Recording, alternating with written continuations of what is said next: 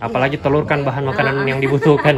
Siapa tidak orang tidak butuh telur. Iya, baru kayak pelin balik konsumsi ini Iya, kan telur. tinggal rebus Ah, apa selesai iya. Kalau saya punya ada sekitar 3000 lebih. Kalau selama kopi ini kalau dampaknya penjualan telur tidak ada juga. Iya, tidak berefek dia. Cuma kita lalu khawatir kak itu pakannya. Tidak pernah ini biar numpuk bagaimana. Macam ini kan baru kemarin tak angkat di sini berapa? Ada 500 rak kemarin tak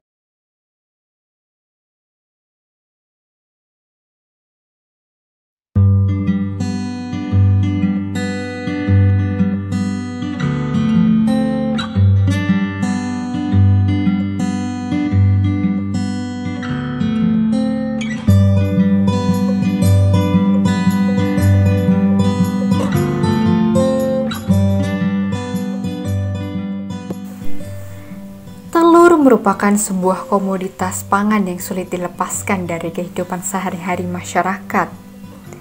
Tingginya permintaan telur di pasaran membuat bisnis peternakan ayam petelur selaku produsen utama telur memegang peran penting dalam menjaga keseimbangan dari ketersediaan pangan di Indonesia. Memang istilahnya macam istilahnya macam kita juga namanya barang bernyawa Iya.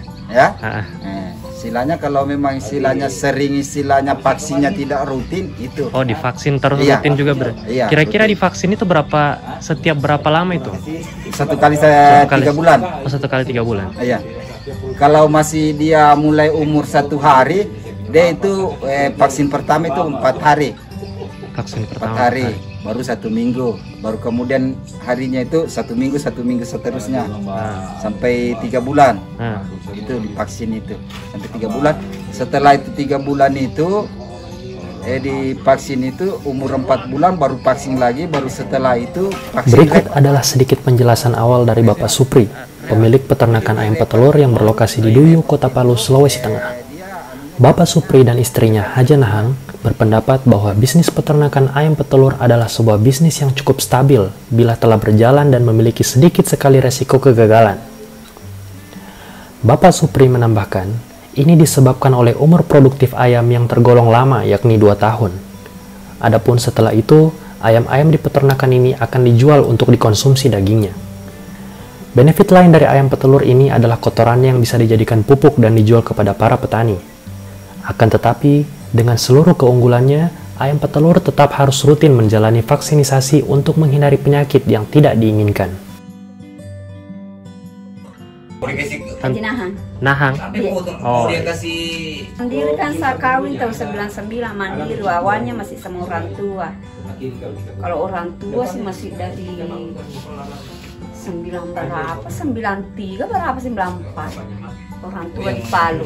Kalau awalnya kan saya di kampung ternak, ternak juga di situ. Sejak lahir memang ternak saya selama anu tuh, selama namanya tak anu mbak ingat, nah, sudah ternak memang di kampung pas tapi di Palu ini sekitar 94 begitu.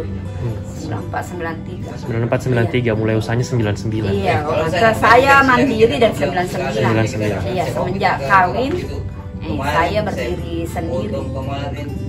Usaha sendiri, ternak sendiri sudah tidak bergantung pada orang tua sudah bilang kerja sama sama orang tua. Maksudnya dari dia Surabaya. Oh, langsung jadi besar begini di bawah. Satu hari kalau ada juga yang dibeli namanya pulet. Pulet. Iya itu tiga bulan langsung naik baterai. Oh, ini kandang ini namanya kandang baterai. Iya.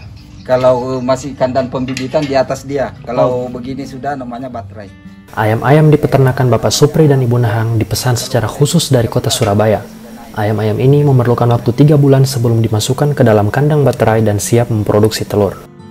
Karena ma- makanannya itu, makanan itu ke dalam per ekornya ayam itu 120 gram 120 gram per per satu ekor. satu ekor. Iya.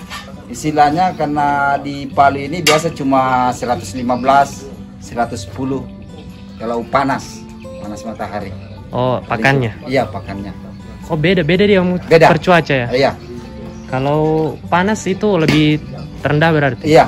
Agak rendah sedikit anaknya. Ini kira-kira total semua ayam di sini berapa ekor Om? Kalau ada mungkin ini. Kalau saya punya ada sekitar Ayam-ayam di peternakan Bapak Supri sendiri berjumlah 3 ribuan ekor dengan estimasi produksi sekitar 2000-an telur per hari. Sehingga diperkirakan jika mengambil harga terendah yakni Rp40.000 di pasaran untuk telur berukuran kecil untuk satu rak atau per 36 telur. Peternakan telur ini dapat meraup omset sebesar Rp2.200.000 per harinya. Harga tersebut adalah harga yang berlaku di Pulau Sulawesi pada saat video ini dibuat di tahun Karena kemarin 2020. DOC-nya masuk ke waktu tanggal 1. Tanggal 1 masuk DOC. DOC itu apa? DOC itu bibit, bibit Oh, ayam. bibit, bibit ayam. Iya, eh, tanggal 1 kemarin dia masuk. Berarti eh, menunggu tiga bulan baru naik baterai lagi. Oh, Kalau sekarang ini partainya Palu 40, 42 dengan 44. oh ada bedanya begitu tante? Iya ada. Kalau telur eh, sidrap kan dia anu, dia campur. Tapi banyak juga orang Palu saya lihat dia itu campuran 43. Campuran maksudnya? Campuran enggak macam begini kan tinggal dikasih dikasih pindah di rak. Oh iya iya. Enggak ada sudah bilang dia anu tuh eh bilang apa tinggal picanya saja kasih lari. Kalau Oh, saya jarang kasih keluar begitu, kecuali orang minta cocok harga begitu saya kasih. Kalau anu tetap saya bersihkan. yang pica-pica itu tante? Iya, saya kasih bersihkan karena kalau dari kandang kan begini tidak macam anunya kang yang kandang anu, kandang besi itu, dia kan memang telurnya bersih. Kalau kita kan kandang manual begini harus rajin kasih bersih karena kalau tidak dikasih bersih ya anunya itu tidak bisa tahan lama. Karena kalau kena air, Berarti kalau pemasarannya ini sudah ada kayak kontrak begitu tante? iya. Kalau memang ada kan memang langganan kampas. Untuk pasar sendiri, Haja Nahang mengaku menjual telur-telurnya kepada Tengkulak Eh, dengan sebuah kesepakatan untuk memproduksi telur dengan jumlah tertentu. Sekian harus dorang angkat atau Kalau kontrak harus, harusnya? Iya. Kalau yang biasa kan yang kontrak, kalau biasa kan saya beriling, bukan yang kontrak macam kampas apa tuh, Hmm. cuma beriling. Kalau bilang tanggal sekian, saya mau ambil sekian rak, eh harus disiapkan begitu. Kalau tidak sesuai, dorang tidak ambil.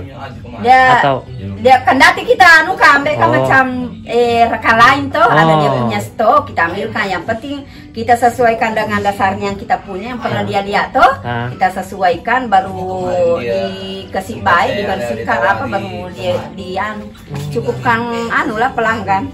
Kalau selama kopi ini, kalau dampaknya penjualan telur, tidak ada juga. Oh, enggak ada. Ah, Jadi dia enggak terlalu berefek. Iya, enggak berefek dia. Cuma kita lalu khawatir kak itu pakannya. Pakan. Kalau soal telurnya enggak pernah anunya bilang kendala pasarannya enggak pernah. Karena semua orang butuh makan terus iya. setiap hari. Ah, kalau pasarannya telur selama kopi enggak. Enggak pernah anu.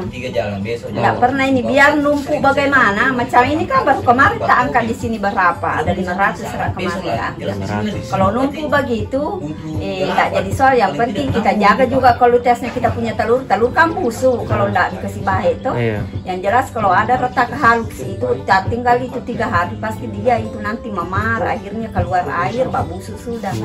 Jadi kita jaga itu selama dijaga itu kalau datang pembeli langsung tak semua. Oh. Tidak ada bilang nunggu bagaimana susah pasar kartun enggak.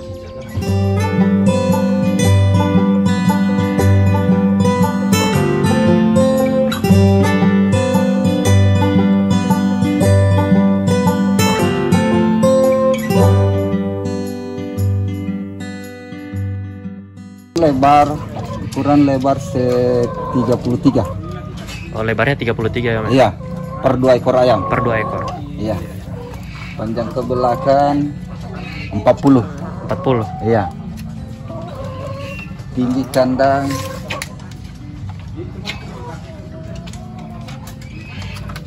sembilan lima. 95 tingginya ya. Iya.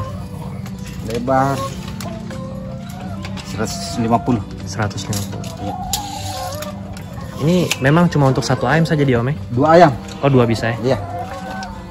Dia dalam 4 meternya ayam itu dia dalam satu baterai itu kena 88 di sini. 88. Iya.